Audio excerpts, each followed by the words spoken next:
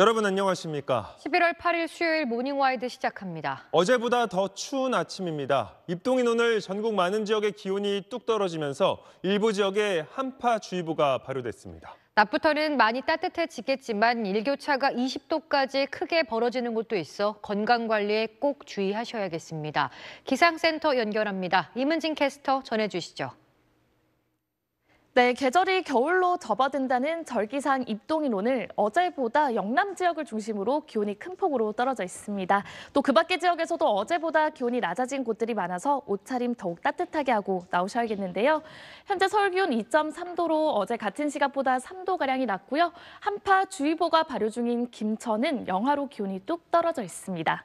이렇게 아침 공기는 어제보다 차갑지만 낮부터는 기온이 빠르게 오르면서 일교차가 무척 크겠습니다. 기온이 크게 차이 나는 곳은 20도 안팎까지 벌어지겠습니다. 전국 하늘은 대체로 맑겠고요. 동해안을 중심으로는 너울성 파도가 강하게 밀려들겠습니다. 자세한 현재 기온을 보면 춘천 영하 0.2도, 창원은 7.1도까지 떨어져 있고요. 낮 기온은 서울 10 5도, 부산 20도까지 오르면서 일교차 크게 벌어지겠습니다. 내일 오후부터는 전국 곳곳에 가끔 비가 내리겠고요. 금요일 오후부터는 날이 더 추워지겠습니다. 지금까지 기상센터였습니다.